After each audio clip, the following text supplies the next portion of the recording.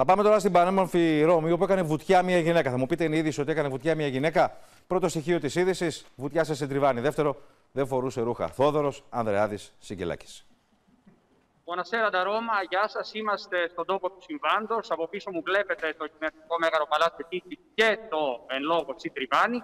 Ε, λοιπόν, χθες μία κοπέλα με λαχρινή νέα πλησίασε στο Τσιτριβάνι, μπήκε εντελώς γυμνή, κολύμφησε, χαλαρή, ανενόχλητη, λες και ήταν σε πισίνα, ήταν και πολύ ζεστή μέρα.